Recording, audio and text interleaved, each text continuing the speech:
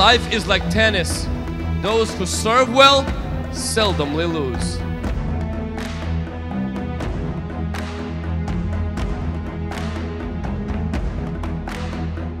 As long as there is a breath inside of you and your heartbeat, and you have opportunity to serve, serve. You have opportunity to love, love. You have opportunity to give, give. You have opportunity to forgive, forgive. If there is an evangelism happening, you better be there. Why? Because the best way to get out of hellish situation is through serving, not crying, not complaining, not self-pity, not me, not selfishness, but serving. Somebody say amen.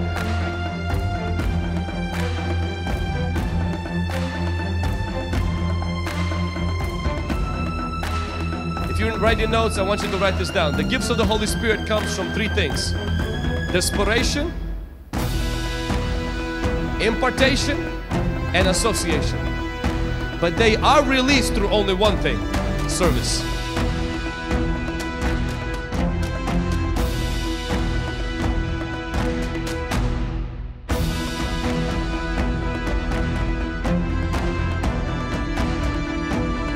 We thank you, God, as disciples.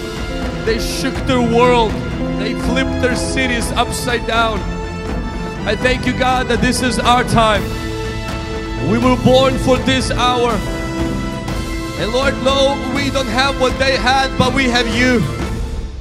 I have a decade, decade almost three years uh, now. On the first prayer, I have a faith that God will heal me, and instantly God will be on the first prayer. So Wow. I'm healed. I became completely healed. How, how many years you had that? Uh, three years, almost three years. Three I years? Yeah, I have a decade. So now I have a peace, so my family is healed. Uh-huh. I had a fever for last last week, uh, since last week, and I feel pain in my chest when I'm breathing. It's not coronavirus, It's not corona. I, I really believe it. It's not corona. I see, I see your mask over there, so I'm just wondering. Huh? Just, It's just a cough. uh, how, how you feeling now?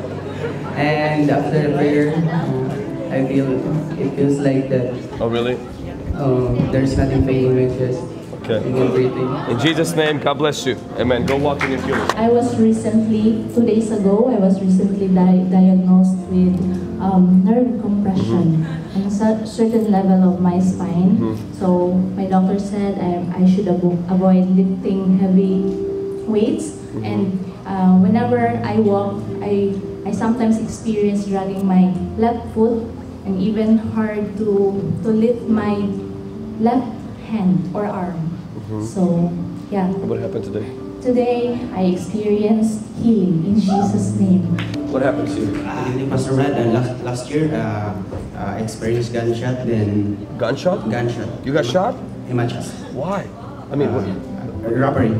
Oh, I'm so sorry, man. Then uh, I got a, I have my operation, the CTT. Uh-huh. They, they, they siphoned the blood of my lungs, but eventually when I come back to my doctor, he said that uh, there is a there is a scar in your lungs, and he said there's nothing we can do about it. Uh, so I felt the pain every time I. I, I breathe, I, I did breathe, there's a pain in my lungs, but right now I breathe normally and praise God.